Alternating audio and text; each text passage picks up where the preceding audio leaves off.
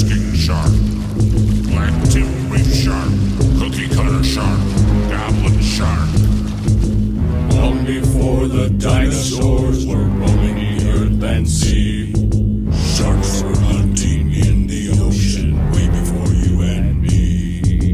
They are the mighty scavengers, ancient predators of the sea. Now let's determine which of them are good or bad for you and me.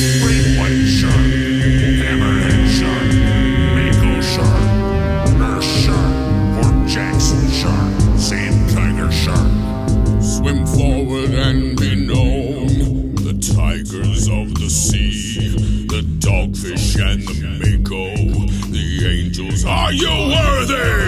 One by one, show yourself. Declare to me who you are. We're here to set the record straight, so tell me now who you are.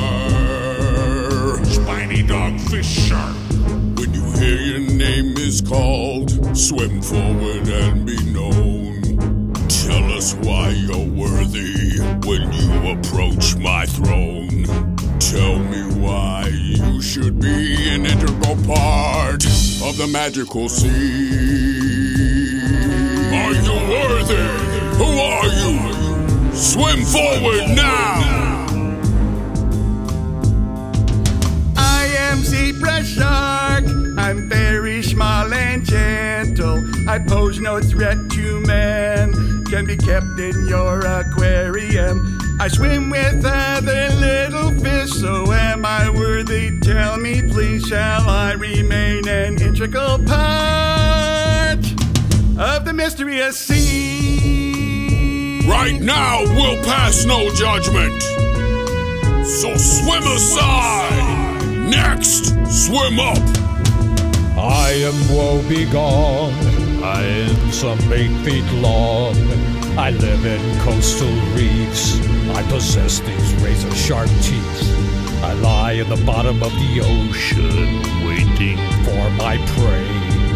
Do you find me worthy on this ominous day?